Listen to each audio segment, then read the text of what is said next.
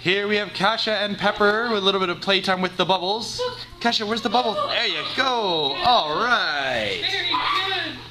Good job. Can you wave? Looks like Kasha's giving a little bit of a wave there from Pepper. Can you tell me a secret? Oh, Wow. look at that. Juicy. What a big secret. Good job.